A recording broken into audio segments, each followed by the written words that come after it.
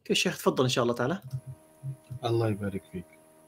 بسم الله الرحمن الرحيم. الحمد لله رب العالمين. والصلاة والسلام على خاتم الأنبياء والمرسلين وعلى آله وأصحابه والتابعين ومن تبعهم بإحسان إلى يوم الدين. أما بعد Indeed, all praises belong to Allah subhanahu wa ta'ala, for He is the creator, sustainer, and controller of the universe and all within. And we invoke His peace and blessings upon His noble messenger, His family, His companions, and all those who follow them in righteousness until the end of time. And we pray that Allah the Exalted will bless us all to be among them. Respected sisters and brothers in Islam, Assalamu alaikum wa rahmatullahi wa barakatuh. I trust that everyone is doing well and enjoying the nice weather and staying out of the storm. Um, so far, it hasn't been too bad in, uh, at least in the Scarborough area. And we thank Allah subhanahu wa ta'ala for His blessings and for His grace upon us. All right. Um, so, today, inshallah, brothers and sisters, we are going to look at an issue that, as I've mentioned in the past, you know, when we study history, we, we tend to think of it as a series of events that happened in the past and it's no longer relevant to us, but just for the acquisition of theoretical knowledge, we, we study history. Of course, that is not completely true, for many things that have happened in history, as we call it, still may impact our lives directly or even indirectly. Uh, our topic today in the life of the third uh, rightly guided Khalifa, Uthman ibn Affan radiallahu anhu, is one of his greatest achievements as Khalifa. And it is an event and an, and an issue that affects us directly today. And not just uh, affects us directly, but it's a very important issue because it is about the collection of the Quran. And the Quran, of course, brothers and sisters, the Quran forms the foundations of Islam. Um, uh, and you know, at the end of the day, if your foundation is solid and strong, then your building is strong. But if your foundation is weak and shaky, then your building will crumble sooner or later. And this is why, even before people um, start to worry about why does Islam allow this and why does Islam allow that or why does Islam prohibit this? In fact, before anyone begins to question the whys of any religion, they should probably look at whether that religion has a solid foundation or not. Because if it does not have a solid foundation, then really the building itself is shaky, and yes, you're going to have many questions. But when the foundation is solid, then the building is solid. And if the foundation is foolproof, as we say, then the person should realize, you know what, perhaps this is the truth. So, in my humble view, it all comes down to the, the basis of every religion. And if you look at the basis or the foundation of every religion, obviously, for uh, divinely inspired religion, the foundation is usually scripture, revelation from Allah subhanahu wa ta'ala. Um, so if you look at the foundation and you find that there are issues and questions with the foundation about its validity and correctness and all that, then you know that this cannot be the truth from Allah subhanahu wa ta'ala because Allah the creator is of infinite knowledge and wisdom. So his knowledge cannot be wrong. He cannot make mistakes. He cannot be mistaken. He cannot not know something. All right. So, subhanAllah, you would expect that revelation from Allah subhanahu wa ta'ala to be perfectly correct and absolutely correct in all aspects. And this is exactly why, brothers and sisters, Allah the Exalted in the Quran, in Surah An Nisa, has challenged the whole of mankind. He has challenged them about this issue. Allah says, أَفَلَا يَتَدَبَّرُونَ الْقُرْآنِ Do they not study and ponder this Quran? ولو كان من عند غير الله لوجدوا فيه اختلافا كثيرا if it had been from any source other than Allah subhanahu wa ta'ala they would find in it many contradictions many uh, incorrect information but subhanallah up to today the best minds in the world have not been able to come up with even one instance, let alone two or three or four or 10 or 20, just one, one instance where the Quran is mistaken. You know, whether its scientific information is incorrect, and subhanAllah, the, the Quran has spoken about various um, uh, disciplines of natural science, geography, um, biology, physics. Um, so none of this information up to today has ever been proven to be incorrect. In fact, in most cases, the information has been proven to be very, very precise. So, uh, subhanallah, the information of the Quran no one has ever been able to find any discrepancy, any mistake, any contradiction. Even in its, its grammatical style, there are no grammatical mistakes in the Quran. When a human being writes, um, you know, unless they review and review and review and review, we here and there may make a mistake, you know, even if it's a dot that that is below the letter when it should have been above the letter. Subhanallah. But even grammatically speaking, there are no mistakes in the Quran, subhanAllah. So even if you look at it from a linguistic persp perspective, it is perfect. So Allah has made it clear, look, the, the way, the test to prove that any so-called revelation is not revelation from Allah is that you would find contradictions and discrepancies in it. If you can find contradictions in it, then it is not from Allah. That's the yardstick. This is how you can disprove the Quran. But try as people may, they have not been able to discover any mistakes in the Quran or contradictions, subhanAllah. And I think this is where everybody needs to start. All right? Because we may or may not understand the wisdom behind certain things. So we ask questions but we may not understand the wisdom behind it. But that doesn't really matter, because if your foundation is solid, then you know you're you're in the right building.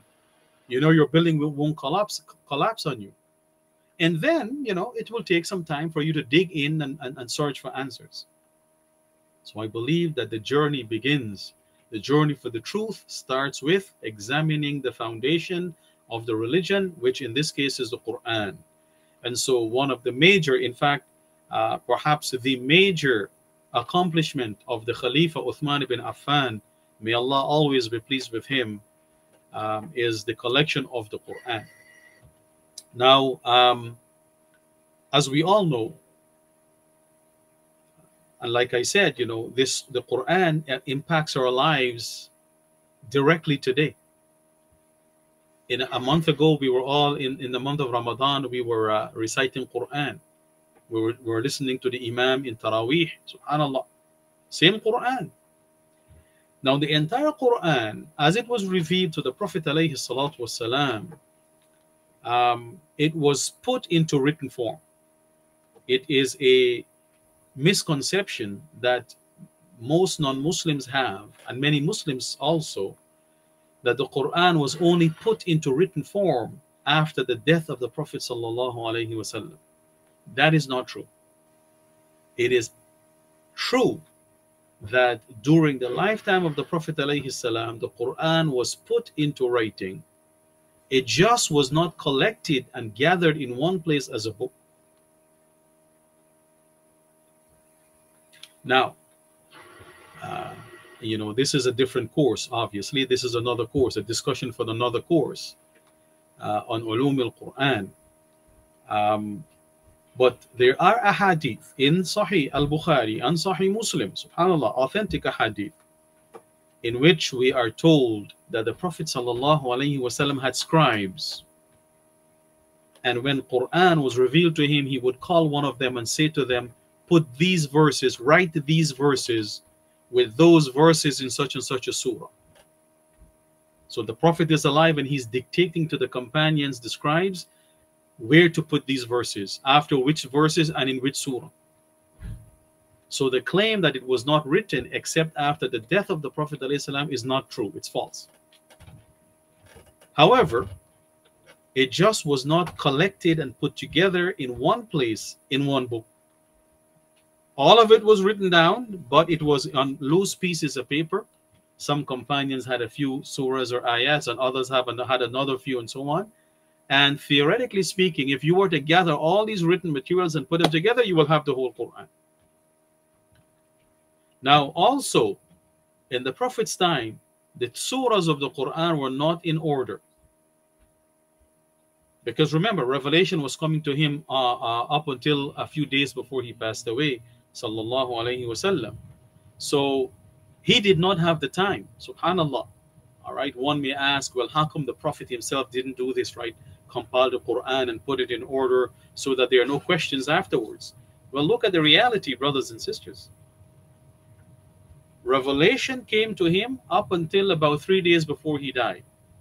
And for the last two weeks of his life, he was very ill. Well, he was ill, and then uh, his illness progressively got worse and worse. So, not only did he not did he not did, did he not have the time, but he was also ill. Who can do much when they're ill? Subhanallah. So he had no time to really organize and put it together it was all written down, but the order of the surahs were not put in, in order because it wasn't gathered in one place as a book, right? Now the companions, of course, they um, they knew the order of the surahs, of course. How? Well, the most famous way is through salah. They prayed with the Prophet ﷺ, and they heard him recite in a certain order. And sometimes the Prophet ﷺ even used to recite Quran in the, on the minbar in the khutbah. There is a hadith in Sahih al-Bukhari where a lady said she learned a particular surah of the Quran simply by hearing the Prophet ﷺ recite it on the minbar and he used to recite it so often on the minbar during the khutbah on Friday. Yes, his khutbah would be a surah he recites. And of course, the people understood Arabic, so there wasn't much explanation that need that, that was needed. So this is how the companions knew the order of the surah. Now Abu Bakr as-Siddiq is the first person, of course, to commission the collection of these loose pages that the Quran was written on and put them together and bring them together in one place. This is what Abu Bakr did.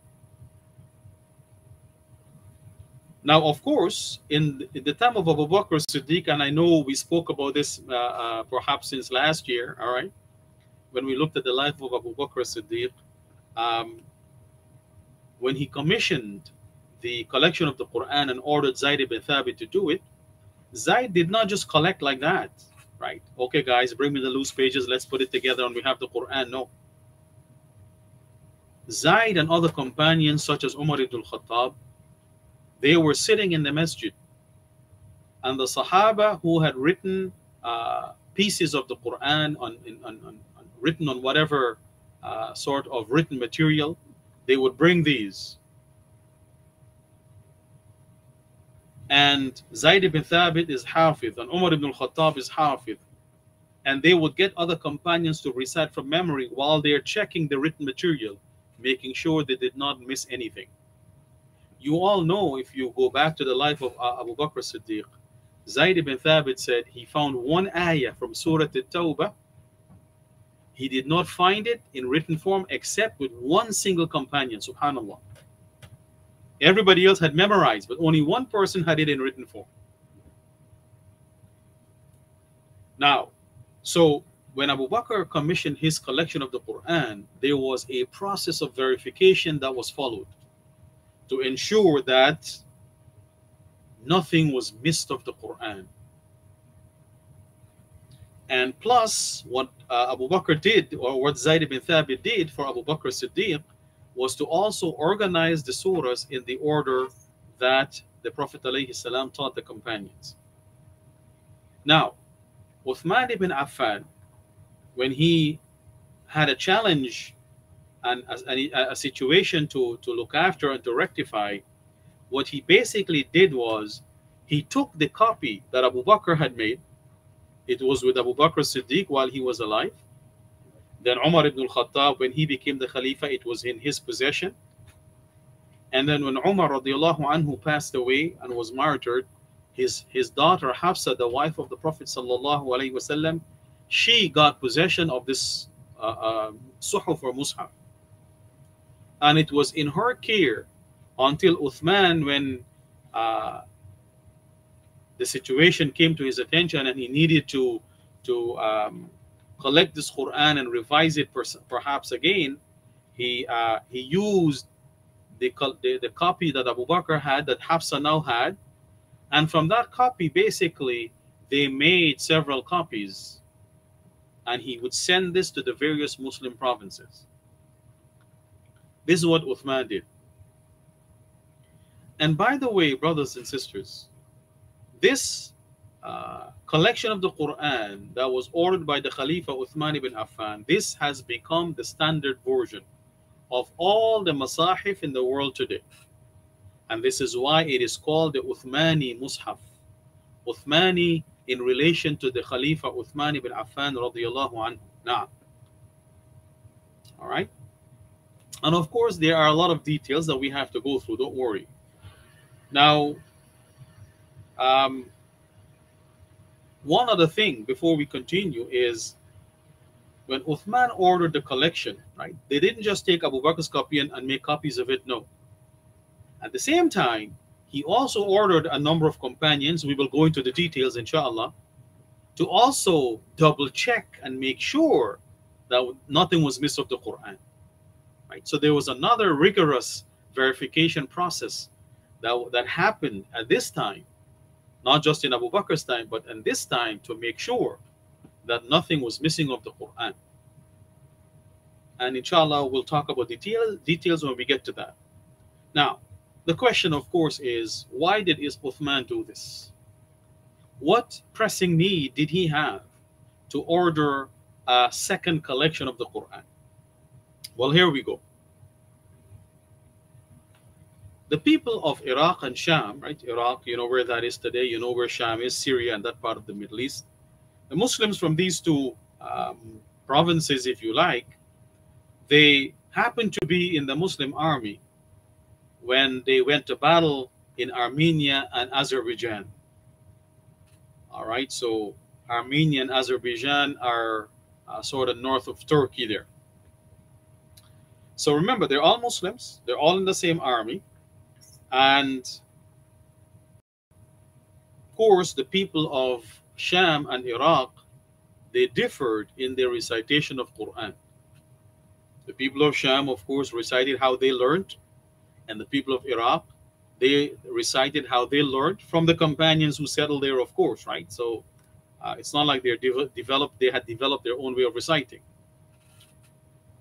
So Hudhaifa ibn al-Yaman radiallahu anhu came from uh, these battles up in the north of Turkey and he came to Medina and he said to the Khalifa Uthman, Ya Amirul Mu'mineen, save this nation before they differ about the book, meaning the Quran, as the Jews and Christians have differed before. This was his statement to Uthman. Now, what is this difference? Uthman asked him, you know, what is this difference? What's what's going on? And he said, uh, Hudhaifa said to Uthman, the Khalifa, look, the people of Sham are reciting the Quran based on the recitation of Ubay ibn Ka'b, Ubay ibn Ka'b settled in Sham and the people learned from him. And the people of Iraq, they have learned the, the, the way of Abdullah ibn Mas'ud of reciting the Quran. And there is a little difference, right? We'll talk about the different qira'at and so on, just inshallah when we get to that, right? So, each set of people, mashallah, have learned Quran, authentic Quran, from the companions who settled in, in, in each place. Now, of course, because of the difference in, in qira'at and all that, and recitation, you have one group of people reciting in a recitation that the other had, ne- never, has ne- have never heard before. All right, subhanallah, I know these days many of us have become a little bit uh, aware of the qira'ah of Qalun because we have the IIT, we have our Qurra who recite in the in the version of Qalun. But I am sure for the first time you heard them reciting the Quran in Qalun. In Surah Al-Fatiha, they say Maliki. In Hafs, and you know what? The vast majority of Muslims in the world today recite by the, the recitation of Hafs. We say Maliki with an alif on the ma, a stretch on the ma. But in Qalun, it's short, Maliki. I'm sure when you heard it for the first time, you were thinking, hey, did this guy just make, make a mistake here, right? So each side is accusing the others of disbelief. Ah, you guys are changing the Quran. You're tampering with the Quran. How can you recite like this? It wasn't revealed like that because we don't know that, right? This is what Hudayfa ibn al-Yaman meant. Before they differ, as the Jews and the Christians differ about the book about the Quran. This is when Uthman ibn Affan radiallahu anhu he sent a messenger to Hafsa radiallahu anha and requested her to send the manuscripts, the suhuf of the Quran that Abu Bakr had made. Now it is the, the, the, the uh, manuscripts that Abu Bakr had done, the collection of the Quran that he had done, is called suhuf because the word suhuf means loose pages. They're put together, but they're still loose. All right, what Uthman would do, radiallahu anhu, they would actually bound it now. So it's one book. You cannot remove the pages. To remove, you have to rip it apart. You know, you have these binders, uh, and you use it. Uh, kids in school use it for schoolwork, and you can add and take out pages. Ah, it's something like that in Abu Bakr's time. Loose pages put together. So it's called suhuf. So he requested these from Hafsa radiallahu anha. And he told her, look, we will make copies from them into masahif. Masahif is a slightly is slightly different from suhuf, right? The plural, uh, masahif is plural, by the way. The singular is mushaf. Mushaf means those suhuf, loose pages put together, but now you bind them together when they're binded together, bounded together, and you cannot remove the pages anymore, it's called mushaf. So he told her, we will make copies into the masahif, right? In other words, not only will we make copies, but we will bind them so that the pages are no longer loose and we will return the original to you. And then Uthman ibn Affan, he ordered four companions to make copies from Abu Bakr's copy, in addition to verifying the text at the same time. Abu Bakr commissioned just one companion, Zayd ibn Thabit. And Zayd ibn Thabit, by the way, brothers and sisters, is one of the number of scribes who used to write revelation for the Prophet. And this is why Abu Bakr selected him.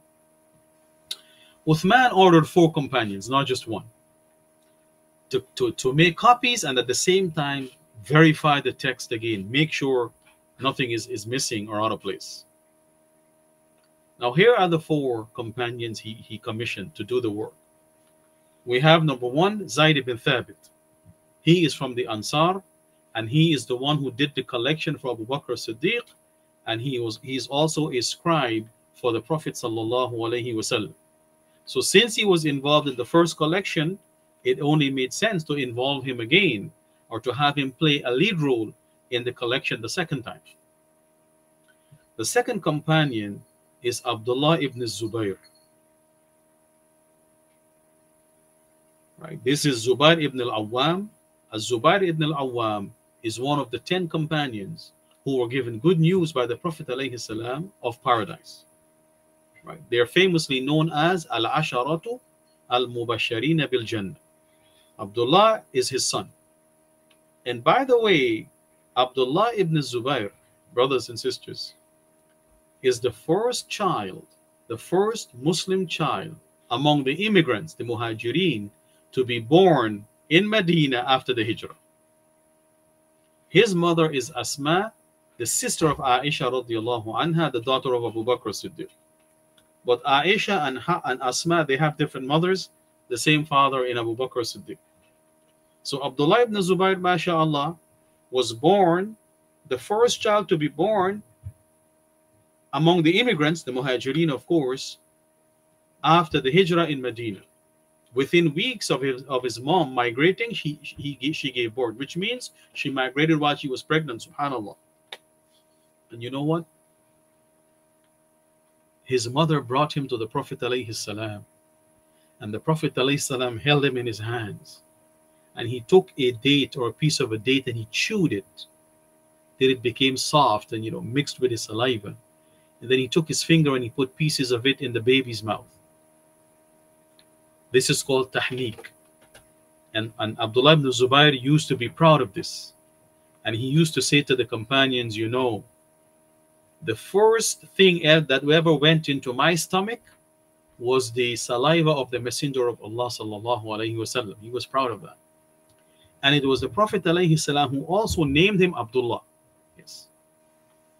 So Abdullah ibn Zubair, mashallah, a very, very well-known companion, a man of high status. He is from Quraysh.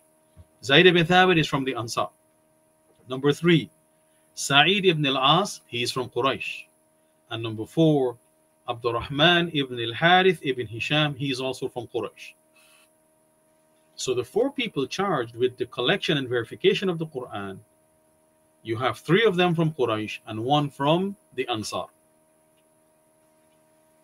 Now, Uthman ibn Affan, radiallahu anhu, after he appointed these four individuals, he said to the three scribes or the three companions who are from Quraysh, he said, in case you disagree with Zayd ibn Thabit on any point in the Quran, you know, how to say this word or whatever, then write it in the dialect of Quraysh, as the Quran was revealed in their tongue. Okay, so this was his order. If you differ with Zayd ibn Thabit about a word, how to say it, well, how to say it, all right, does it should it have Dhamma, should it have Kasra, should it have Fatha? If you differ, then write it in the dialect of Quraysh. Because it was revealed in their tongue, right? The bulk of the Quran, the vast majority of the Quran is in the language or the dialect of Quraysh. In any case, the Quraysh were the first people to be addressed by the Quran directly. In another version of this hadith in Sahih al-Bukhari, also, uh, Uthman ibn Affan said to the four men, in case you disagree with Zayd ibn Thabit regarding any dialectic Arabic utterance of the Quran, يعني في عربية من عربية القرآن you know how to say the word is it nanshuruha or nunshizuha, right? He said, you write it in the dialect of Quraysh. Write it how Quraysh would say it. For the Quran was revealed in their dialect. Now remember, brothers and sisters, Hudayfa ibn al-Yaman saw the problem with the Muslims from Iraq and from Sham arguing over the recitation of Quran. Yes, each group was reciting according to how it was revealed, but they, they, they didn't realize that perhaps because they learned one way of reciting from the companions who settled in their area. Now, Uthman had to address this problem. How does he produce something that is standard that will be standard for the whole Muslim world? So people are not arguing and fighting as to whose recitation is right and whose is wrong or whose is better and things like that. So he told them, listen, you differ. If you differ, if you don't differ, alhamdulillah. In case you differ, then do, write it in the dialect of Quraysh. Now, let me point out here, brothers and sisters, and I will repeat it later on. There is absolutely no proof that these three men differed with Zayd ibn Thabit about any Arabic utterance in the Quran. So although the order was given, there is no proof that it was actually uh, practically implemented because they never differed with Zayd ibn Thabit. Okay, bear that in mind. Now, the four did as they were instructed. They were instructed to use Uthman's uh, Abu Bakr's copy and collection of the Quran and to make copies from this. But while they're doing this, they are to also verify the text and make sure that no verse or no word was missing. So they made some copies. I shouldn't say many because, you know, many you would think maybe 20, 30, 40, right? No, they didn't make that many copies. They actually made about seven, five to seven copies. And then uh, Uthman returned the original manuscripts that Abu Bakr had done back to Hafsa. And then he sent a copy of what he had commissioned to, to every major Muslim province. Right, so he sent one copy from the copies that were made to the major provinces. So not every city got a copy, no. In addition to that, he also ordered that all other Quranic materials and fragmentaries manuscripts, or even whole copies that companions had as their personal mushaf, he ordered them to burn all these things. Now, if you want a mushaf, come and take our copy and you make your own copy. Now, I know what you're thinking, right? Why would he do this? If a companion already has his own personal mushaf, why burn that and make him rewrite the whole thing, right? Okay, we'll talk about that. Don't worry. So this is what he did, radiallahu anhu. He ordered all these fragmentary pieces of the Quran, you know, some people might have a few surah, some half the Quran, maybe some the whole Quran, whatever. He says, destroy it, burn it. Now, who is this Hudayfa ibn al-Yaman? Let's let me just share with you a little bit of information about Hudayfa ibn al-Yaman radiallahu anhu. He is well known as the keeper of the secret of the Prophet sallallahu alaihi wasallam. He is well known as the keeper of the secret of the Prophet salam. Al-Qama, one of the great tabi'een scholars, once he went to Sham, Syria, right? And he went to the masjid, and when he went into the masjid, he said he made a he made a short dua. He said, "Oh Allah, bless me to sit with a righteous companion. I want to sit with a with a, a righteous companion, right? Because you sit with a companion, you learn from him. And he said, Subhanallah, I was blessed to sit with Abu Darda, radiallahu anhu. And Abu Darda said to him, From where are you? And Al-Qama said, From the people of Kufa. I'm from the people of Kufa. And Abu Darda said to him, to Al-Qama that is, Isn't there amongst you the keeper of the secret which nobody else knows? And Al-Qama said, he meant Hudayfa. Isn't there among you the keeper of the secret of the Prophet ﷺ, which nobody else knows? And he said, yes. Right. So in this hadith from Sahih al-Bukhari, as you can see, we know that Hudayfa ibn al-Yaman, he is the keeper of the secret of the Prophet ﷺ. In another version of the hadith, in Sahih al-Bukhari as well, Abu Darda said, Isn't there among you, amongst you, the keeper of the secret of the Prophet wasallam, which no one knows except him? Now, you see, brothers and sisters, you might be wondering, why did I mention both hadith? Here's why. You see, each version has information that the other does not have. And together, you get the full picture. With one alone, you get part of the picture. For example, if you take the first version here, isn't there amongst you the keeper of the secret which nobody else knows? And Al-Qama said he meant Hudayfa. Now in this in this uh, hadith, we know that it is Hudayfa ibn al-Yaman who was the keeper of the secret. But, but secret of whom? I said the secret of the Prophet ﷺ, but this hadith or this version doesn't say the secret of the Prophet ﷺ. It simply says the keeper of the secret. Now, to prove that it was the secret of the Prophet salam, we need to go to the other version. Yes, right? Because in this version, Abu Darda said, Isn't there amongst you the keeper of the secret of the Prophet sallallahu alaihi wasallam, which no one knows except him? And of course, Al-Qama said yes. The thing is, in this second version, Al-Qama did not say he meant Hudayfa. Because if he did that, then we could use this one version and it would cover both issues, right?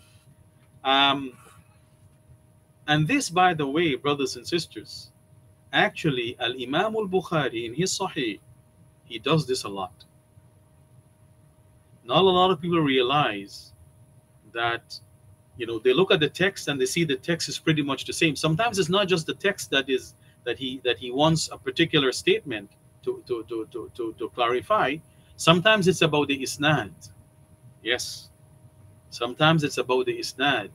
So he may narrate a second hadith, same wording, and people say, hey, why did Imam Bukhari repeat the same hadith, man? Come on, this is not called for. Ah, he does not repeat for the sake of repeating, brothers and sisters. No, he has his reasons. And often, the reason either is in the text, there is uh, information there that's not in the other, the, the hadith above, or in the isnad, there is information there that is important. Of course, uh, you know, most of us, we uh, are not hadith experts and so on. So, you know, the chain of narrators, the isnad, we're not too keen on that. But if you were keen on the isnad, then you will realize that very often Al Imam al Bukhari mentions a second hadith, a second isnad, because there's information there to add strength and weight to the validity of the hadith itself. Okay? So sometimes this is important. Not just one hadith or one version to get two or three versions because together they give you the complete picture. So with these two versions, we know that Hudhaifa ibn al-Yaman was the keeper of the secret of the Prophet. Now, what is this secret? Ah, I know, I know you're wondering, right? What is the secret of the Prophet? Well, it was the names or the affairs of the hypocrites. The Prophet ﷺ had informed Hudayfa ibn al-Yaman of the names of the hypocrites in Medina. And of course, he told them, do not tell anybody. This is mentioned by Al-Hafidh ibn Hajar in his book Fathul Bari. And we know that Umar ibn al-Khattab, once he came to Hudayfa, and he said to him, look, I know you are the keeper of the secret of the Prophet ﷺ, and I know you cannot tell me, you cannot divulge the secret, the names of the hypocrites. Just tell me one thing though, is my name among the names there? Subhanallah. Umar ibn al-Khattab worried that his name might be among the names of the hypocrites. So this is Hudayfa ibn al-Yaman. Now, concerning the statement in the hadith that Uthman made to Hafsa, send us the manuscripts of the Quran the suhuf. Uh, I, I explained this, right? The difference between suhuf and mushaf. They both come from the same root, meaning pages put together. But suhuf refers to pages that are still loose. Abu Bakr did not bind his, his, his pages. They were just put together and they were still loose. Okay? So that's called suhuf. This is what happened during the Khilafat of Abu Bakr Siddiq. In addition to that, as the scholars say, the chapters, the surahs of the Quran were not put in order. Of course, each surah was by itself and all its verses were in order. But to organize them, Al-Fatiha, Al-Baqarah, Ali Imran, Nisa, and so on, right, in that order, it wasn't done. It was just, you know, put together in loose pages. It was not in order. So you might have had to go to the middle to find Surah Ali Imran. But the whole surah was was written together, right? All the verses from one to the end. So the verses were in the correct order, but the surahs themselves were not in order. Now, when Uthman ibn Affan, when the companions, the four companions made from the Suhuf of, of Abu Bakr, they copied, they also placed the surahs in order that they come in. So this is also a major difference between Uthman's collection and that of Abu Bakr. They just didn't make copies. No, they also put the surahs in the order that they come in as we know in the Mus'haf. And when they bounded it, it became Mus'haf. Right. So Mus'haf refers to the Quran, two things. The Quran with the surahs in the proper order, plus it's bounded. So you cannot remove the pages. You have to rip it apart. The statement in the hadith that Uthman ordered Zayd ibn Thabit, right? The statement seems to imply that Uthman did not consult with the companions as to what to do. The problem came to his attention. Hudayfa ibn al-Yaman told him what the problem is. And the statement in the hadith seems to imply he just ordered Zayd ibn Thabit and that he did not do consultation with the companions. However, this is not true. It is not true. He did consult with the companions. Right? He gathered them and said, Listen, this is the problem, guys. What can we do to solve it? And proof of this is in the fact that Ali ibn Abi Talib made a statement saying, Do not say about Uthman except good. Right? When Uthman radiallahu anhu was murdered, Ali made this statement. He said, Do not say about Uthman except good. For by Allah, he did not copy the Masahif except after consulting us. Except after consulting us, Ali and other companions. So we know that he did consultation. And this was the advice that he got, and that's why he went ahead and ordered Zayd ibn Thabit well, he asked Hafsa to send her copy, and they made copies from that. Now, in the statement in the hadith, Uthman then ordered Zayd ibn Thabit, Abdullah ibn Zubayr, and so on. Muhammad ibn Sirin, and this is one of the great scholars from the Tabi'in, he said that Uthman ibn Affan gathered 12 men from Quraysh and the Ansar. And among them was Ubay ibn Ka'b. Remember, Ubay ibn Ka'b had settled in Sham, in Syria, and the people learned from him in Syria how to recite Quran. But at this time, he happened to be in Medina, so Uthman actually gathered 12 people, Quraysh, from Quraysh and from the Ansar. And he said to them, Who is the best writer? And the people replied, these 12 men replied, the one who used to write for the Prophet wasallam, Zayd ibn Thabit. So here we have evidence again that Zayd used to write for the Prophet. He was a scribe. So the Quran was written in the lifetime of the Prophet sallallahu alaihi wasallam. And then Uthman asked them, who is the most eloquent in terms of language? And they said, Sa'id ibn al-As. So Uthman said Sa'id, you should recite, and Zaid, you should write. And that's how they did it, brothers and sisters. Right? One companion would recite, and Zaid would write, and he would compare this to what Abu Bakr did. Make sure it's the same. Right? SubhanAllah. Now, in the beginning, because it's the whole Quran, right? It's it's just it's just not you know easy for two people to do. So in the beginning, Said was reciting and Zaid was doing the writing. But of course, recitation is probably easier than, than writing because you have to handwrite and you have to make sure the letters are legible and all that. So he needed help in writing. And so other companions were uh, brought in to help write. And the number of copies had to be made and written, and then they sent, uh, like I mentioned, uh, a copy to each of the major city or province in the Islamic Empire. Now, some of the 12 were helping to write, and Ubay ibn Ka'b, remember he's one of the 12, he was helping in the recitation because, you know, not only had he memorized, but the Prophet ﷺ, uh, has mentioned, has, you know, told people that they should learn the Quran, and he mentioned from Ubay ibn Ka'b. Now, Ibn Hajar mentions the names of nine of these 12 companions, not all 12, but nine. So there are four mentioned in the hadith, right? The four that Uthman uh, ordered Zayd ibn Thabit, Abdullah ibn Zubair, uh, Sa'id ibn al-As, and uh, who was the fourth one?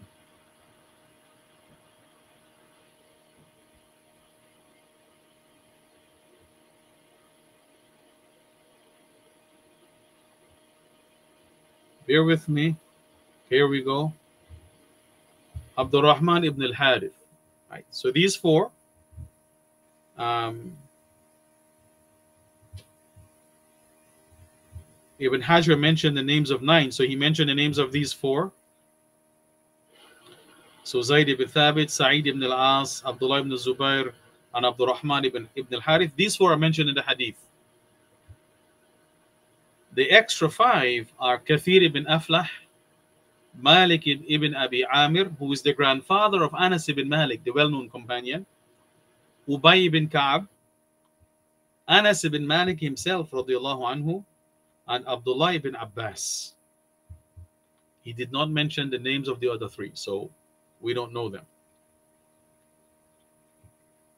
Now, a question that comes in here is why was Abdullah ibn Mas'ud not included in the group of companions who were commissioned to do this collection for Uthman?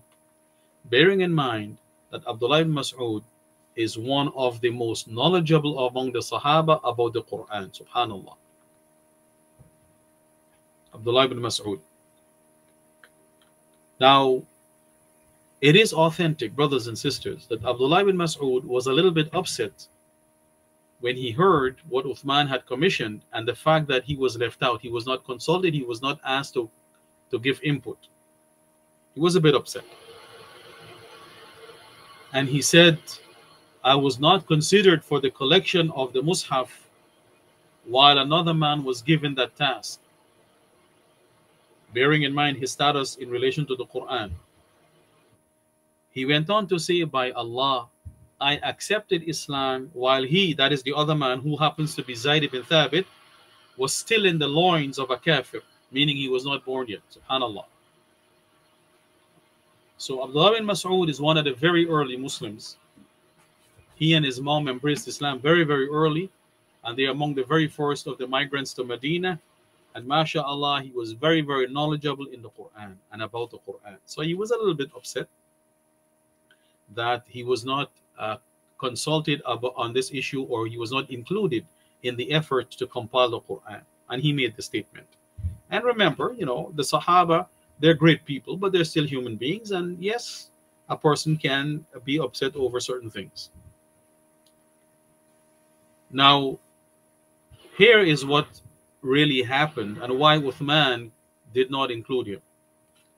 Uthman radiallahu anhu, the Khalifa, he ordered the collection to be done where? In Medina. And Ibn Mas'ud is where? In Kufa, in Iraq. Now, there are no telephones. There is no internet. There is no aeroplane or car you can drive in a few hours from Iraq to Saudi to Medina, you know, 10, 12 hours.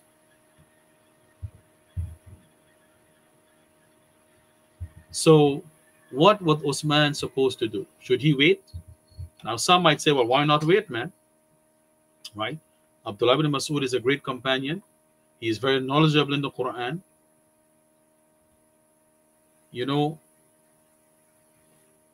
just to give you some idea, brothers and sisters, of his status in relation to the Quran, Al Imam al Bukhari mentions this hadith in his Sahih once the Prophet ﷺ said to Ibn Mas'ud, recite for me.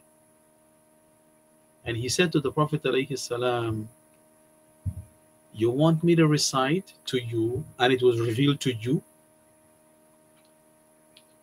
And the Prophet ﷺ told him, yes. Sometimes I like to hear from other people. But the Prophet selected of all the companions, Ibn Mas'ud. He could have gone to any other companions and recite for me. So why not wait, right? I mean, this is a very knowledgeable companion. Well, the reality is it was an urgent matter. There was no time to wait. Uthman had no time to wait. If he waited, the dispute is happening, right? People are coming to blows almost. So he needs to end this before the Muslims start to fight among themselves and kill each other, literally kill each other. And like I said, there was no internet, there were no telephones, no fast mo modes of transportation. So, you know, it's not like he could wait one day and uh, Ibn Masud would reach Medina, right? That would that would be no problem. Or you know, over Zoom, mashallah, right? Zoom, they could have uh, communicated and he could have given input. There wasn't these things. It was a very urgent matter. He could not wait for the weeks it would take to send a message to Kufa to tell Ibn Masud he's needed in Medina, come on over. All right, it will take a few weeks back and forth. So that's one thing. The second thing is Uthman ibn Affan simply intended to make copies of the Suhuf that were collected by Abu Bakr. That was his intention. All he wanted to do was make copies from this. He also intended he would bind, bind them together with the surahs in order, right? So he intended to go one step further to make the Suhuf into Mus'haf. But basically, that was his, his plan to make copies. Of course, he decided, okay, while we're going to make copies, we might as well, you know, verify the text again to make sure that nothing was missed or left out. So that's what he wanted to do, subhanAllah. Plus, the person who did the collection for Abu Bakr as-Siddiq was Zayd ibn Thabit. And therefore, he has the priority that no one else has. He has the priority over no one else has. If Zaid was not consulted by Uthman, yes, Zaid would have been justified in saying, hey guys, how could you not consult with me? And I was the one who did it for Abu Bakr, man. Right? Subhanallah. So the truth is, brothers and sisters, that Uthman ibn Affan radiallahu anhu did not do anything wrong. There is no blame on him for not consulting or waiting to consult with uh, Abdullah ibn Mas'ud because it was a very urgent matter. And although Abdullah ibn Mas'ud was upset, really the truth is with Uthman ibn Affan. Yes, it is, it, it is with the Khalifa, not with Abdullah ibn Mas'ud. Radiallahu anhum ajma'in. May Allah always be pleased with all of them. All right. The statement in the hadith, and send to every Muslim province one copy of what they had copied. So the question is how many copies? Because if you're going to send to each province, you know, you need a number of copies. The scholars have differed. Some say five, others say seven.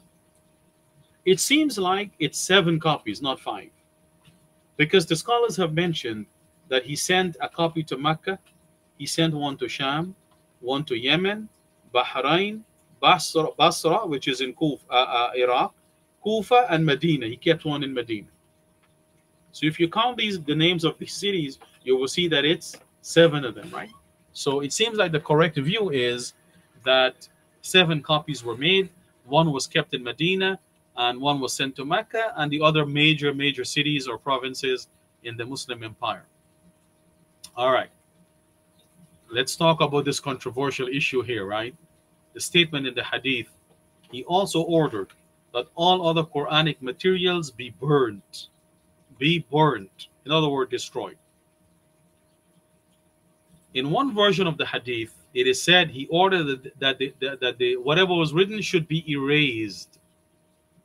And in another version, it is said that he ordered the people to wash the pages in order to get rid of what was written. Because when water gets on the ink, the ink would, of course, dissolve into the water, right? You know, with uh, if you write with a ballpoint pen, then you know water does not really damage the ink so much. But if you write with a liquid ink pen, you know that, right? If water gets in the ink, it smudges very easily, subhanAllah, right? Because the, water, the, the ink is soluble, so it dissolves in the water and it spreads. And it, so if you wash it, it will it will leave the pages blank. It will get rid of the ink. So three things: either he either he ordered that they be burnt or erased or washed. Ibn Hajar, he said that most narrations said he ordered that these Quranic materials should be burnt. So this is what really happened. Although there might have been a few cases where people, uh, you know, immersed their, their pages into water to get rid of the ink or they erased it by hand, right? But what happened mainly was that the copies were burnt. Ibn Battal, this is one of the very early scholars. All right, he actually lived in the fourth century of the Hijrah, or the fifth century of the Hijrah, sorry. And, and he actually did an explanation, and his is probably the earliest commentary on the hadith of Sahih al-Bukhari. Right, Ibn Hajar come, came some 400 years later, and he did a commentary as well. But often he quotes Ibn Battal. Ibn Battal said that this hadith about burning the pages that people had of the Quran, their personal copies, is evidence that it is permissible to burn the books or the pages that have the name of Allah written on them. It is permissible to, to, to, to destroy them or to get rid of them by burning them. And this is to ensure that it is not trampled upon by anyone. Yes. So you burn them. In our day, day and age, you recycle them, right? You shred them and recycle them. This way, no one will trample and walk on the name of Allah subhanahu wa ta'ala. The big question, of course, and in particular, even the Orientalists, those who try to create doubts about the Quran, they ask, why did he order that these personal pieces and copies that people had to be burned? Why not keep them? Right? The Orientalists, they, they, they, they, they zero in on this point. They question, why did he order that, you know, these things to be burned? Because they say the possibility exists that verses of the Quran were lost when the personal copies were burned, or maybe there were contradictions in the Quran, but we won't know now because everything else was burnt. Right? So you see the doubt and the confusion they were trying to raise. Who knows? Maybe some companions would have had verses that would have contradicted other verses. But now we can't tell that because they're all destroyed. And in doing so, they were trying to raise doubts about the validity of the Quran. So why did he order these to be burnt? Of course, their argument is absolutely incorrect. Right? They said that he was trying to hide the possible presence of contradictory verses. This is incorrect, absolutely. Quran is from Allah, brothers and sisters, subhanAllah. Now, here are a couple of things to consider as to refuting this claim of the Orientalists.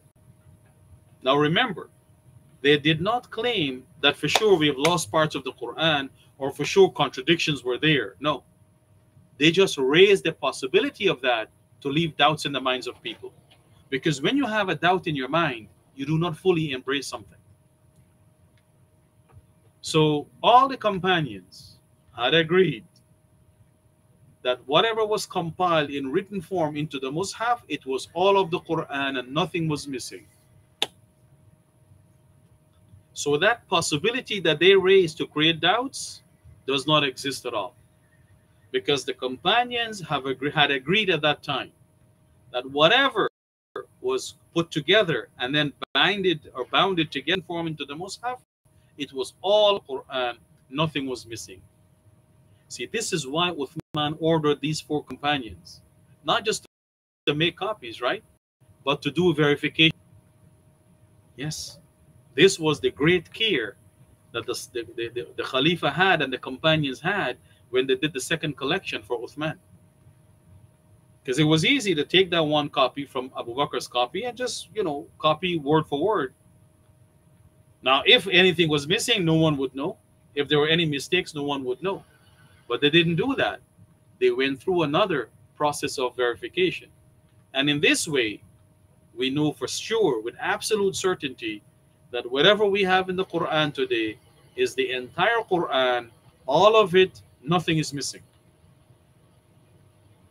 Okay. Um, brothers and sisters, it's 8, 8 p.m. I know our class is close to two hours. So let's take a short break and you know get up stretch a little bit get a drink of water or something and in five minutes we will come back okay?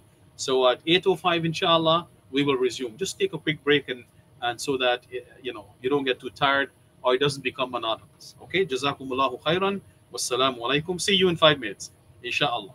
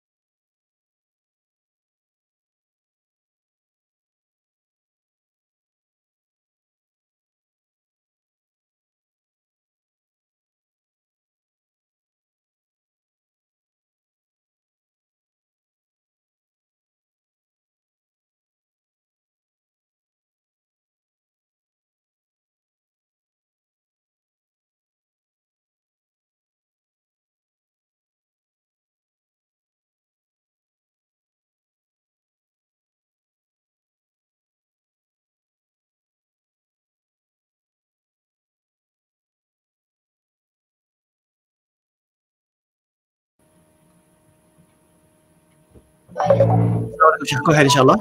Wassalam. All right, shukran. Oh, yeah. بسم الله الرحمن الرحيم الحمد لله والصلاة والسلام على رسول الله وبعد Welcome back brothers and sisters. I know I said 805 but I came back at 807 so pardon me please. Allah barik fikum. I hope everyone uh, was able to get up and do a little bit of stretching and maybe grab a drink of something or a quick bite to eat. Alhamdulillah. okay, so we continue with our discussion. Uh, that all the companions, mashallah, had agreed that the copies that were made was all of the Quran and that absolutely nothing was missing. Because if anything was missing, whoever realized that would have objected. Whoever realized that would have objected. Because remember, when Abu Bakr Siddiq commissioned Zayd ibn Thabit and ordered him to collect the Quran, Initially, Zaid objected, didn't he? He said to Abu Bakr, How can we do something that the Messenger of Allah never did? And so, from this, we learn that the companions were not people who would sit quietly and let the wrong happen and not object to it.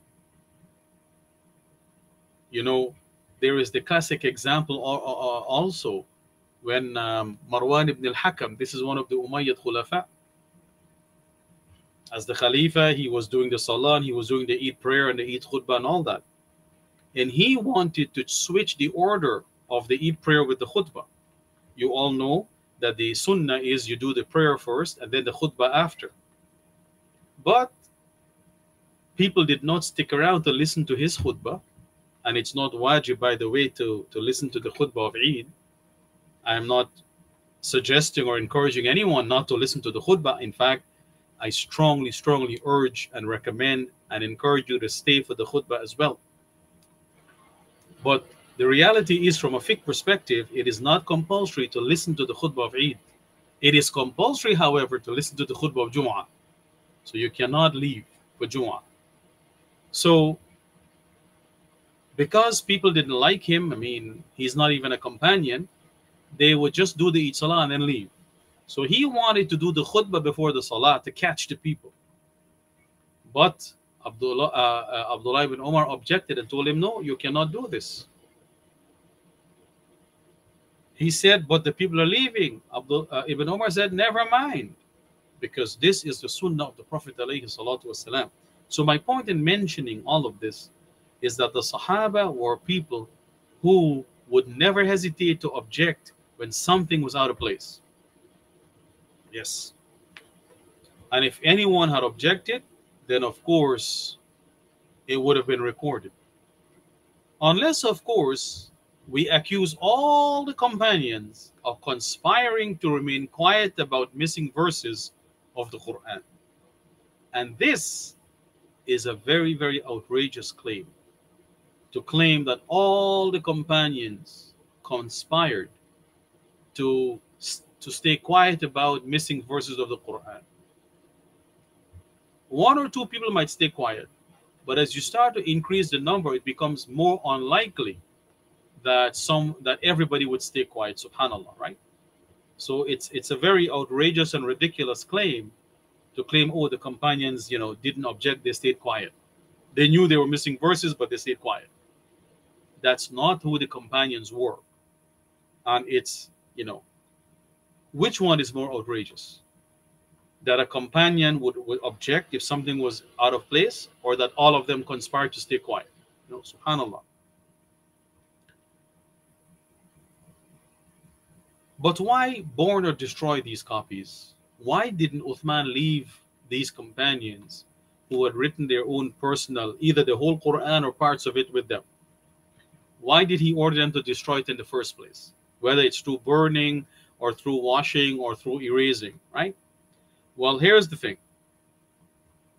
Many companions, brothers and sisters, had written their own comments and tafsir in the margins above and below the verses that they had written. Now remember, in those days, writing material was extremely hard to come by. So when a person had a piece of writing material, he would try to use every little bit of space. If you're writing on the shoulder blade of a camel, right? It's it's the shoulder blade of a camel is a huge thing. So they will try to write uh, uh, very close together and use every single available space.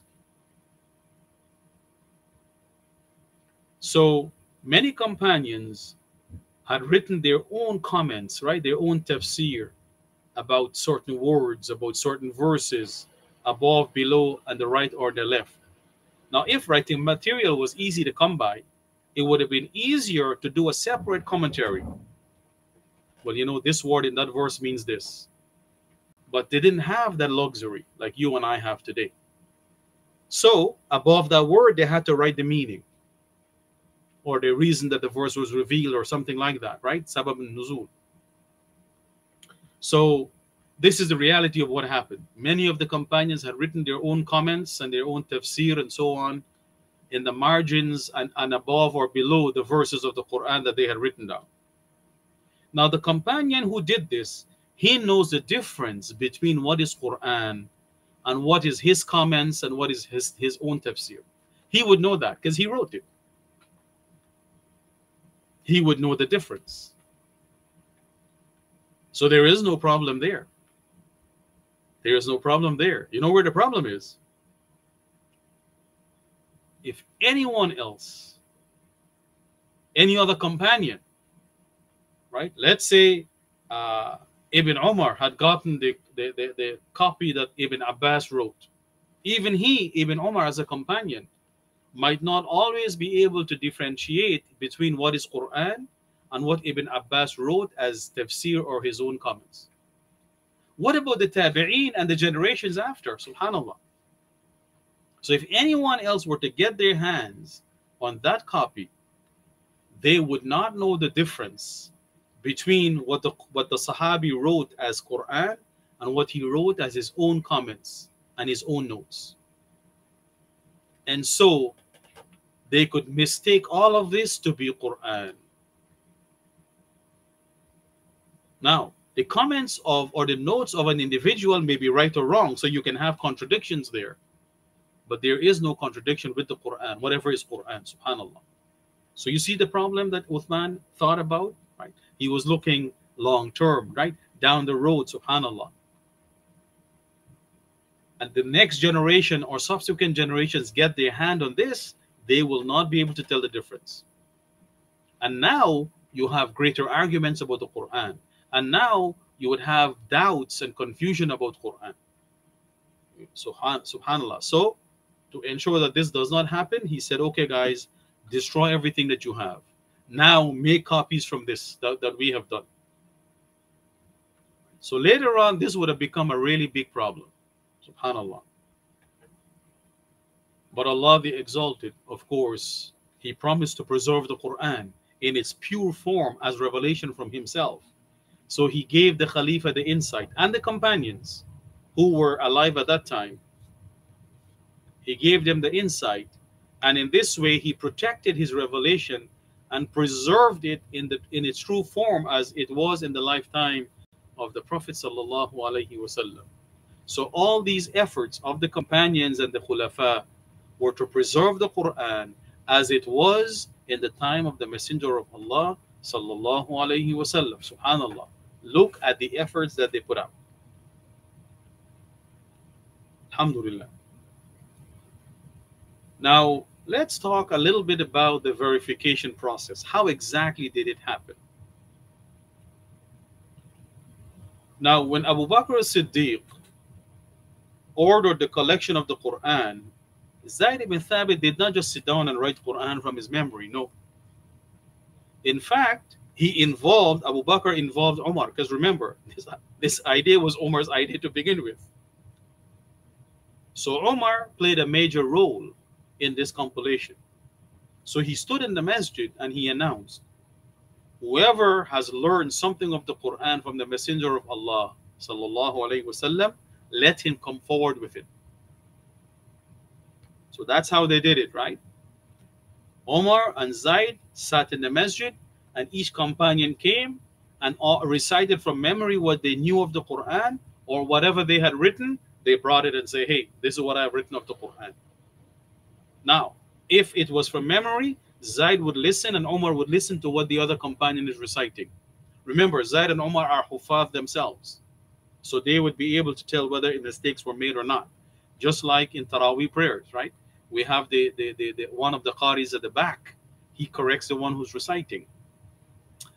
And if a companion came with anything written, then Zaid ibn Thabit and Umar would read what's written, and they're hafiz. So as they're reading what's written, they're also double checking that with their own hafiz. So this is in the time of Abu Bakr. Whoever knows something of the Quran from the Prophet, Prophet salam, come forward with it. So whatever was written on pages, on stones and skins made from date palm trunk, whatever, people brought everything. And he did not accept anything from anyone as Quran until two witnesses testified, yes, this is a verse from the Quran. Now, Ibn Hajar has some comments about what two witnesses really are. But before we get to that, Ibn Hajar said, this proves, right, the statement that he did not accept anything until two witnesses testified that this is Quran. This proves that Zayd ibn Thabit radiallahu anhu did not depend merely on what was written. Until those who received it by hearing it directly from the Prophet salam testified to it. So a person comes and says, Here is what I've written. Ah, he needed somebody to come who heard this, who has memorized this, to come and say, Well, here, yes, I know that verse. I've memorized it from the Prophet. Because if you depend on what is written only, anybody can write anything and pass it on, right? Subhanallah. So their their process was very, very rigorous. MashaAllah.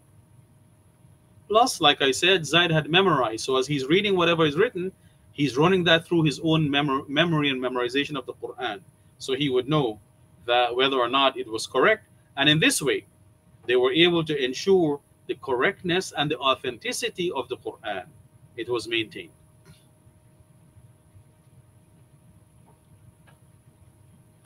Abu Bakr Siddiq actually ordered Omar and Zaid. He said to them, Sit at the door of the masjid, and whoever comes with two witnesses to testify to anything from the book of Allah, write it. Come with two witnesses. Now, about two witnesses, Ibn Hajar has some ideas, and I would like to share that with you because they're interesting ideas. These two witnesses could be a, memory and written form. See, when you and I hear witnesses, we're thinking of live people, right? Uh, not necessarily. So if somebody had come with something written, plus he has memorized or somebody else had memorized, so whatever is written, whatever is memorized, if they coincide, that's two witnesses. So it could be memory and written form. Or two witnesses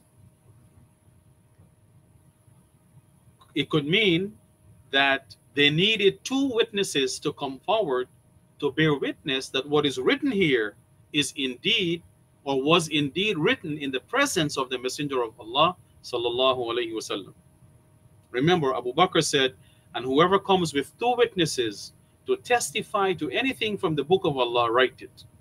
That is two people who would testify that yes this here was written in the lifetime or in the presence of the Prophet salam, not written behind his back, right? Somebody sat down and, and recollects. No, written in his presence. Or here is another uh, point of view of the two witnesses, or the two witnesses would bear witness. So we have two live persons who would bear witness that whatever is written is one of the versions in which the Quran was revealed.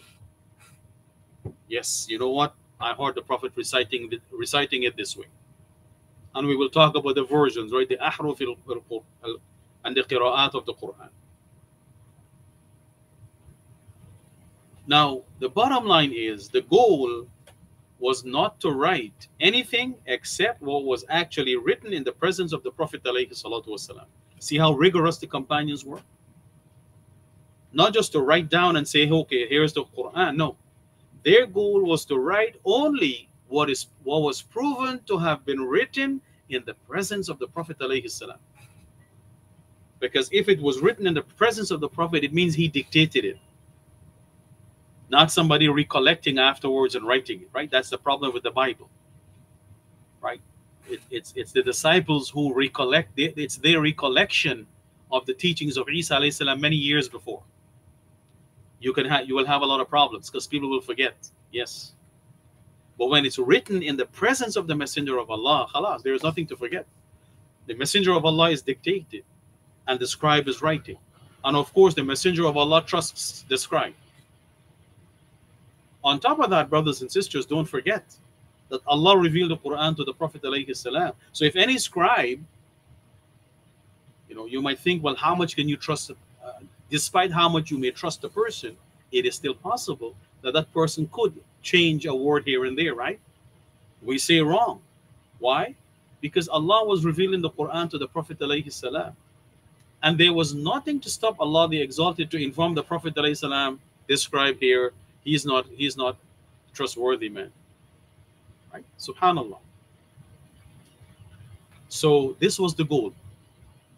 And that's why they were so rigorous and strict they did not want to write anything as Quran, as written Quran, except what was proven to have been actually written in the presence of the Prophet wasallam. Not just in his lifetime, in his presence, right? Remember that. Not what was written from memory alone. Subhanallah. Yes. So the companions had a very rigorous and, and strict method and process, mashallah. And this is exactly why we have absolutely no doubts or questions about the validity of the Quran. When you depend on what was written from memory alone, outside of the presence of the Prophet ﷺ, you have problems, like I said, with the Bible. The disciples' recollection, right? Mark and Luke and, and these guys, their recollection of the teachings of Isa they did not write it in his presence. Because if they did, he would be able to correct them, right? SubhanAllah. Now, we're told in the hadith in Sahih al-Bukhari that when Zaid and others collected the Quran for Uthman ibn Affan, Zaid said, I missed one verse from Surah Al-Ahzab, which I used to hear the Prophet salam reciting a lot. Finally, I did not find it with anybody except Khuzaima al-Ansari whose testimony was considered by Allah's apostle sallallahu alaihi wasallam equal to the testimony of two men. That verse was among the believers are men who have been true to their covenant with Allah. Chapter 33, verse 23. This is the statement of Zaid. I missed one verse from Surah Al Ahzab, which I used to hear the Prophet reciting a lot. Finally, I did not find it with anybody except Khuzaima al-Ansari. Sorry. Ibn Hajar commented saying, this proves that when Zaid was doing the collection of the Quran, he did not depend on his own knowledge and memory alone. Because he knew he used to hear this verse, but he didn't find it in anybody. So he searched for it and eventually he found it. Okay? Eventually he found it. Now, let me just say, brothers and sisters, when he said, I did not find it except with this one person, what he means is, I did not find it in written form. It does not mean that no one knew this verse except this one person because Zaid knew the verse. Remember that? He said, I used to hear the Prophet reciting it a lot. So not finding it with anyone means in written form. Only this one companion had it in written form. Okay. Now, Zayd ibn Thabit was instrumental in the two collections of the Quran, that of Abu Bakr Siddiq and that of Uthman ibn Affan. And each time he collected the Quran, he commented that he missed a verse each time, so that's two verses in written form. When he did the collection for Abu Bakr, he said a similar statement. I missed a verse, meaning in written form, and I found it with only one companion in written form. And then when he did the collection for for Uthman, uh, for Uthman, he said a similar thing. Now, these two verses are not the same verses that he missed. Each time it was a different verse. And the person he found it with in written form was a different person. So when he did the collection for Abu Bakr Siddiq, the verse he missed was at the end of Surah At-Tawbah, chapter 9, the end of Surah At-Tawbah. And the companion who had this verse in written form, the only one who had it in written form, is Abu Khuzaymah. Pay attention to the name, brothers and sisters, Abu Khuzaymah. When Zayd collected the Quran for Uthman, the verse he missed was from Surah Al-Ahzab, so it's a different surah. And this verse, he found it in written form with another companion named Khuzayma ibn Thabit al-Ansari. Abu Khuzayma and Khuzayma ibn Thabit are not the same people, brothers and sisters. They're not the same person. Don't be fooled by Khuzayma and Khuzayma. These are two completely different people. They're two different persons. Now, the verse that was found in written form only with Khuzayma ibn Thabit al-Ansari when the collection was done for Uthman ibn Affan from Surah Al-Ahzab Zayd ibn Thabit mentioned that this companion uh, Khuzayma ibn Thabit al-Ansari that his testimony was equal to the testimony of two men now since it is mentioned in that hadith I want to share with you this story it's a short story now, once the Prophet ﷺ, he bought a horse from a Bedouin, desert Arab. And he didn't have the, the, the money to pay at the time. So he told the Bedouin, look, follow me to Medina, to home, and I will give you the price, the money. Now, while they're walking, right, and the Prophet ﷺ is walking in front and this man is behind, some people did not know that the Prophet ﷺ had bought the horse this horse from the man. So they came and they offered this man more money for the horse. And the man, subhanallah, he was enticed. Ah, this guy's giving more money. I might as well sell it to him, right? So he was enticed by this offer of more money. So he said to the Prophet, salam, either you buy the horse or I will sell it to somebody else. And the Messenger of Allah sallallahu alayhi look at his adab, his manners. He said to the man, haven't I already bought the horse from you? I mean, we agreed. We agreed on the price. All that was left was for you to follow me, go with me to home, and I will give you the money. So the deal has been sealed. I didn't say I'm going to think about it. You know, give me a few minutes. Let me think about it. We agreed. You like the price, you name the price, I agree. We agree that I'm I'm buying the horse. All that was left for your the money to exchange my from my hand to your hand, and I will take possession of the horse. So the Prophet told the man, Haven't I already bought the horse from you? And the man denied. He said, No, bring your witness, man, if you claim you bought the horse from me, right? Because remember, he wants the more money. He wants to sell it for more money, subhanAllah. And this is where we see, brothers and sisters, that your integrity is worth more, more than all the money in the world, subhanAllah. Your integrity. So the man denied, says, No, uh, you, I never sold you the horse. In fact, if you claim I sold you, produce your witness, man. Now, there was nobody else present at the time when the Prophet uh, uh, uh, and the man made the deal, subhanAllah. Just the two of them. And the man knew this, right? See, this is why he's challenging the Messenger of Allah, sallallahu alayhi wasallam. So produce your witness, because he knows there was no witness. But remember, all of this is happening now while they're, you know, in Medina, right? So people have gathered. And the companion Khuzaima ibn Thabit stood up and said, I bear witness that you bought this horse from him. I bear witness. Subhanallah. Remember, he wasn't there. Wherever the Prophet met the man, and they agreed on the price, and now and they agreed on the deal, and now they're coming home to get the money for payment. He did not witness the purchase. But he just stood up and said, I bear witness that you bought this horse from him, as if he was there. And the Prophet ﷺ was kind of taken aback. And he said to Khuzaimah, What are you witnessing about, man? You weren't even there. What are you witnessing about? And subhanAllah, look at what Khuzaimah radiallahu anhu said. He said, Your truthfulness, O Messenger of Allah. I wasn't there.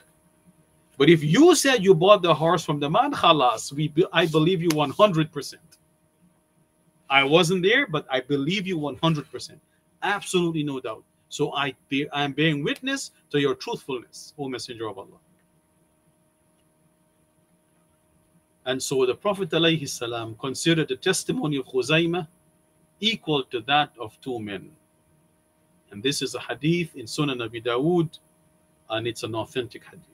So this is the story of Khuzaimah ibn Thabit al-Ansari, whose testimony was considered equal to that of two people. Now just remember, you need two witnesses, but his testimony alone was considered as two, subhanAllah. Sindi, this is one of uh, our scholars who did a commentary on the hadith of Abi Dawood, Sunan Abi Dawood. He said that the Prophet ﷺ did not keep the horse. He returned the horse to the man. Alas. You know, take your horse, man. That's it. It is, and he mentioned, Sindi mentioned that the man died the same night that the horse was returned. So he never got to benefit from that extra money, subhanAllah. Prophet returned the horse, says, That's okay, keep your horse. Sell it for more if you want now. But subhanAllah, he passed away the same night. Allahu Akbar. All right, so this brings us to the end of uh, these slides.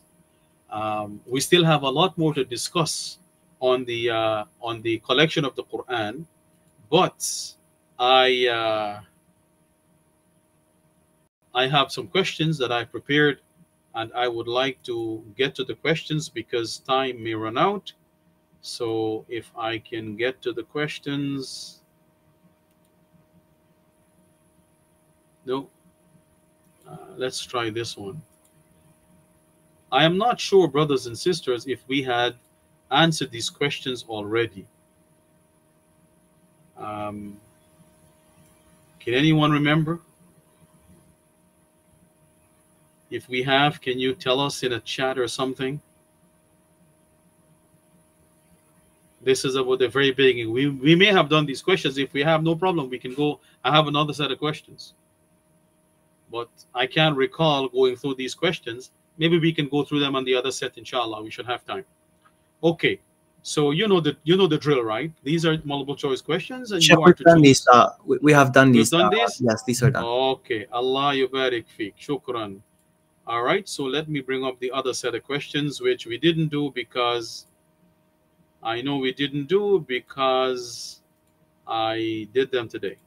So here we go. Bismillah. Bismillah.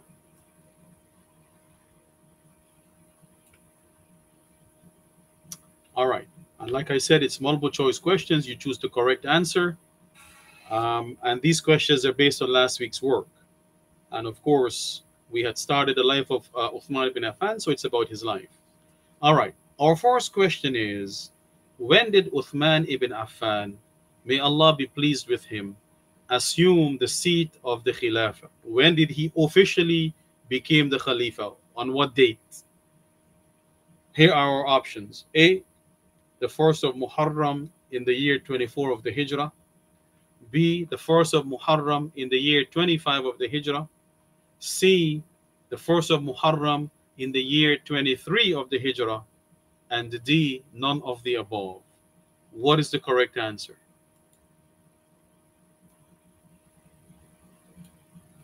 Yes, I can see the chat, brothers and sisters, so you can type your, your, your the question and, the, and, the, and the, the, the letter of the answer. So you put 1A or 1C or 1D, whatever it is. Now, any any takers? When did Uthman ibn Affan officially became the Khalifa, you know, and, and began to function in that capacity? What was the date? And there is no difference of opinion. That's why I'm asking this. This is very clear. You have four options. Um, which is the correct answer? Is it the 1st of Muharram, 24 AH, or 25 AH, or 24, 23rd AH, or none of the above?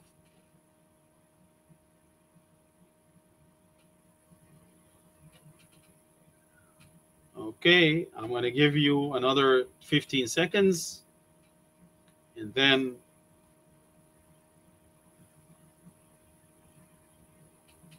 oh, you, your brothers and sisters need to do revision, man. You have to stay with the program. Yes. All right. I know you're, you're probably scrambling, flipping the pages of the handout, trying to find that. All right. Okay, don't worry. The correct answer, brothers and sisters, is A. Question one, the correct answer is A. Yes. I'll put it in red for you. He was officially installed as a Khalifa on the very first day of Muharram, the 24th year of the Hijrah. And the first prayer he led as the Khalifa was Salatul Asr. Okay. All right, very good. Question number two. Who instituted the earlier adhan on Fridays? A. The Prophet sallallahu alaihi wasallam. B. Abu Bakr as-Siddiq radiyallahu anhu. C. Umar ibn al-Khattab radiyallahu anhu. Or D. Uthman ibn Affan radiyallahu anhu. Which one of them introduced the earlier adhan on Fridays? I'll give you a few seconds to, again, you can as I said, you can type the answer in the chat as you used to do before, right? Question two, put two and then put the number or the, the, the letter so I know that it belongs to that question. Who instituted the earlier adhan on Fridays? I see the chat is very silent, mashallah. Okay, so somebody, and now I see 1C. 1C no, it's 1A, right? The 24th year of the Hijrah, not the 23rd.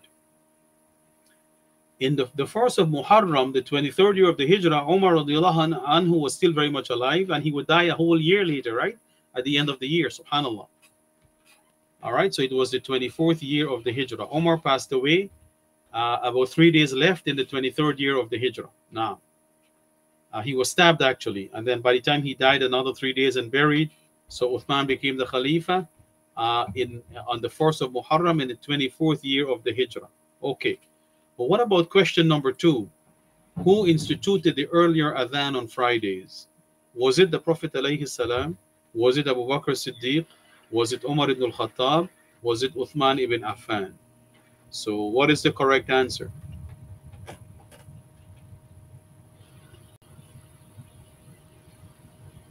Yep, type your answers answers in the chat. That's the easiest and fastest way. I'm going to give you a few seconds more.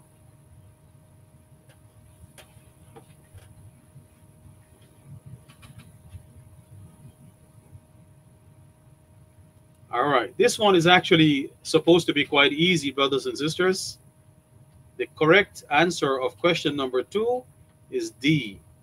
It was Uthman ibn Affan radiallahu anhu, the third uh, Khalifa, who instituted the, the earlier adhan. The earlier adhan. Okay?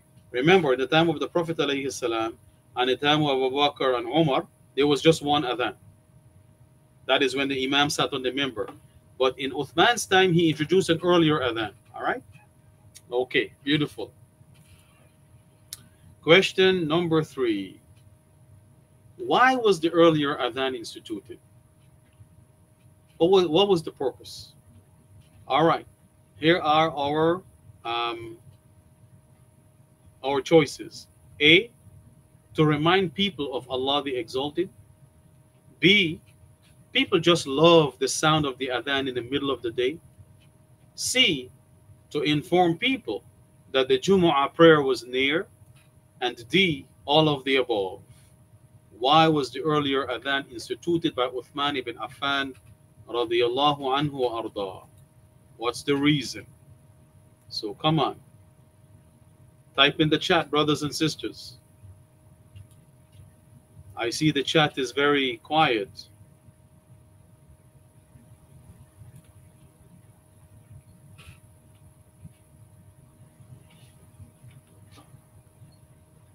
I see a Bibi Umar Ali, I see a Sheikh Haq, I see a Annie Muhammad, Dean dash message. All right. Somebody put D, all of the above. All right. Any other takers? Is there any other? Um, and don't forget to put the, the, the, the number of the question, right? If you put D alone, I don't know, are you talking about question number two or question number three or question number one? So if you put 3D or 2A, I will know exactly what it is. So somebody has D, and I'm assuming that is the answer for question number three. Why was the earlier adhan instituted? All right, I'm going to give you a few more seconds, see if anybody comes up with a different answer. Okay. Sister Fahima, yes, you also have D. I'm, I'm, I'm guessing that it's question number three you're talking about. Okay. All right, a few more seconds, brothers and sisters. Any other choices?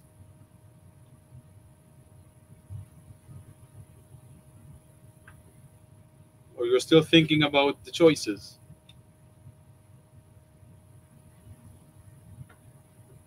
All right. Um, the correct answer, brothers and sisters, is actually C. Number three, the correct answer is C. The earlier adhan was instituted to inform people that Salat al-Jum'ah was near. Now, of course, the adhan would certainly remind people of Allah the Exalted. And, you know, people love to hear the adhan. I mean, I know when I hear a, a beautiful adhan, even if it's a, a, a, on the internet or a CD, you know, subhanAllah, or, or brother just practicing, right? It's not even salah time. And you know, somebody is practicing, yes, three, three C is the correct answer. It's beautiful, it sounds good. So I can understand why you put D as the correct answer. But if you go back to the information, you will see and learn that the earlier adhan was instituted when what? When Medina expanded, right? The population grew. And and now uh, people are busy with businesses, right? And they're not paying attention to Jumu'ah time. So the real uh, uh, uh issue at hand was to remind people and inform them that Salat al-Jumu'ah was, was near and close and that they should finish off what they're doing so that they can attend the Jumu'ah prayer. So the correct answer is C, although, um, you know, A and B are, are also, uh, uh, you know, applicable. All right, let's move on. Question number four. The institution of the earlier adhan on Fridays is not bid'ah because why is it not bid'ah? Because remember, it was never done by the Prophet ﷺ, so why is it not bid'ah?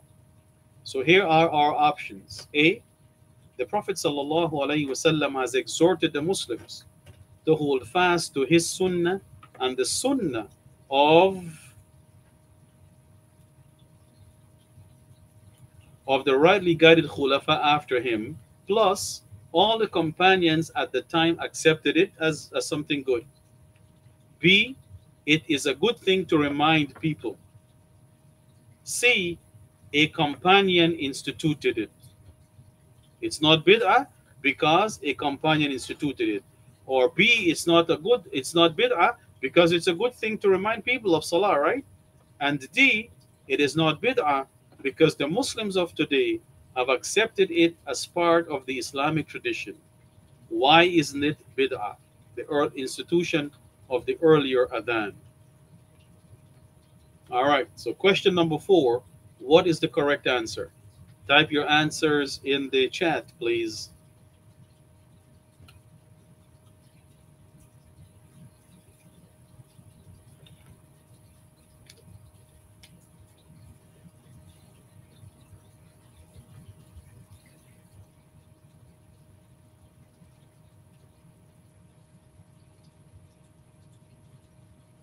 Why isn't it bid'ah? What is the reason it is not considered bid'ah? and It's actually considered sunnah. All right. So we have a, a, a 4A, 4A, mashallah. Two people so far with A. All right. Any other choices?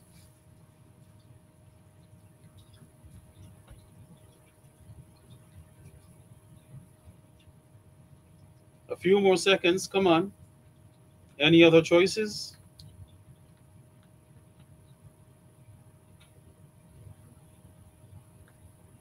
All right. So the correct choice or the correct answer is A. Yep. Those who put A, are, you are correct. It is not bid'ah at all because the Prophet salam told, exhorted the Muslims, right? And there's a hadith, an authentic hadith about this. You have the details in the handout. He exhorted the Muslims to hold fast to his sunnah.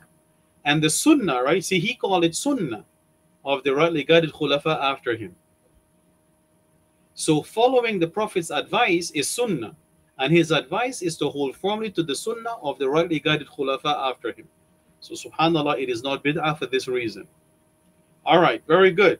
And our last question is, who is the skilled tracker who died during the first year of Uthman's rule as the Khalifa? We talked about this. There was a skilled tracker who, who managed to track down the Prophet salam and Abu Bakr when they were migrating to Medina. This skilled tracker, he died during the first year of Uthman's rule as the Khalifa. Who is this person? What's his name? Here are the choices. A. Abdurrahman ibn Auf. B. Abu Ubaidah. C. Suraqa ibn Malik. And D. Anas ibn Malik. Who is the skill tracker? What is his name? All right. We have an Ann Muhammad. Your answer to four now came in, so that's that's very delayed. You put 4A and that's the correct answer, but it's been a while. What is the and correct answer for number five? Who is the skilled tracker who died during the first year of Uthman's reign as the Khalifa? And you have four options. Okay, so we have a 5B, mashallah. Yes, any other choices? We have a B, Abu Ubaidah. Any other choices?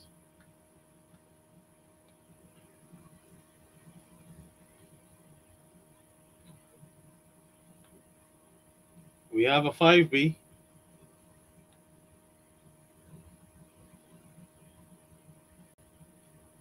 And it seems like uh, those on uh, on YouTube are the ones uh, answering questions. What happens to the folk on, folks on Facebook?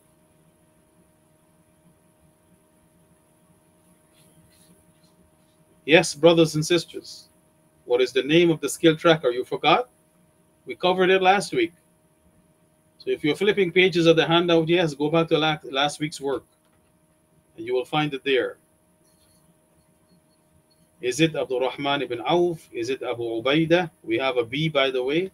Is it Suraqa ibn Malik? Is it Anas ibn Malik? All right. A few more seconds.